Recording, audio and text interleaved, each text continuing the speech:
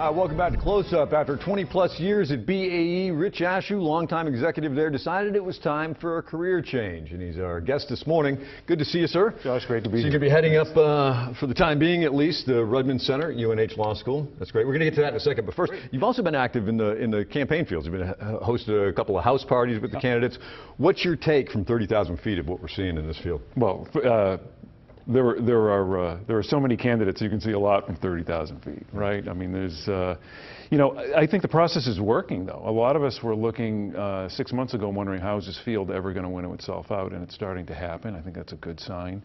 Uh, and the thing I'm most encouraged about is these candidates, with a couple of exceptions that you probably know, are really embracing the New Hampshire way. Yeah. They're just, you know, letting it all hang out, meeting with voters, taking whatever comes, and doing it all under the critical eye of the press. And I think that makes good candidates. That's good for democracy and good for the process. Interesting kind of energy out there right now. I mean, the latest poll has uh, two political outsiders, Carly Fiorina and, and of course, Donald Trump, leading the, the pack right now. Bernie Sanders, we see that on the other side. Uh, you ever seen anything like this before? I mean, it, it's, Of course, all the time. The, the, so there's there's volume here, right? That we that we're not used to. But the fact is, is that is that you do some dating before you go to the altar. And that's the fun part. You know, we're in the we're in the, we're playing the field. With, you know, so so we're testing out candidates. I mean, as you know as well as I, you know, Herman Cain was way out in front Sure. at this point last time.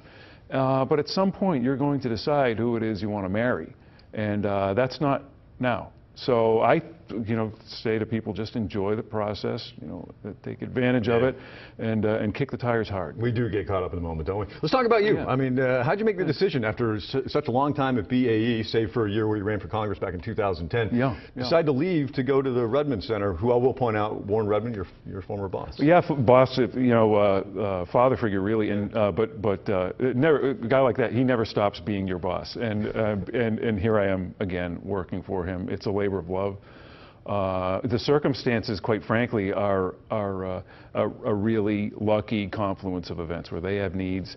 I have uh, something to bring to the table, and and you're right. I mean, the, my uh, I I cannot. The show is not long enough to talk about Yeah. uh, B- BAE Systems and the incredible work down there that's still going on there.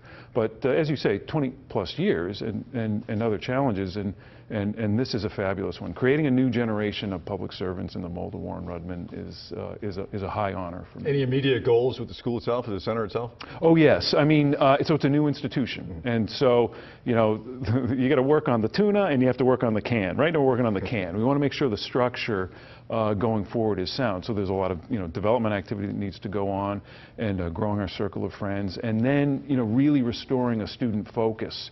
Uh, that uh, obviously is, is, is, is Sure. critical to the mission. All right. uh, Your name's been mentioned repeatedly uh, as a possible candidate for Congress uh, again in 2016 in the first CD.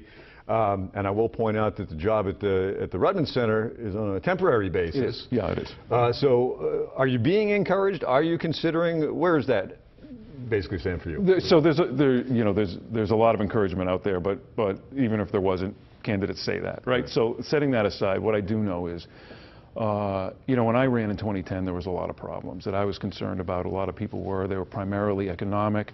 Those have not gone away. Uh, in fact, the problems are now worse. We're dealing with national security issues that are are, are quite chilling. And so that's how I look at things. You know, what are the problems? Can I help solve them? And uh, and the problems have indeed grown. But as we pointed out, there's this presidential primary going on right now. I've been focused on making sure that that one of those people can solve those problems too. And and when we get the primary out of the way, I think that'll probably be the right time to decide. So, short answer, we'll see. Yeah, we'll see. I mean, you know, no one's paying attention anyway. It's a, there's this great presidential primary going on. Embrace that, and I'm going to be fully focused on the Rudman Center during that time. Yeah, I, I do got to ask you. One of your opponents back in 2010 is your current incumbent, Frank Guinta. Yeah. Well versed in the issues that he's had. Uh, wh- What's your takeaway on that? And does, does does his inclusion in this race make you more likely or less likely to run? Uh, it doesn't matter to me who is running. Uh, it, this is about the problems that need solving and whether or not I can, I can, I can help solve them. Uh, and he has to choose his own path. I, you know, I will say, and I've always said, uh, the, the explaining needs to come from him, not from other candidates. And uh, safe to say that the explaining isn't really taking hold, so he's going to have to try harder with that. All right. Well, we'll see what happens there. But when you do make a decision in the next few months or so, post uh, the primary, good place to let people know is right here, right? Don't you think? I, I don't think I have much choice of that here. Rich Ashooh, great to see you, sir. Thanks Good luck so with much, everything, especially at the Thank Rudman you. Center.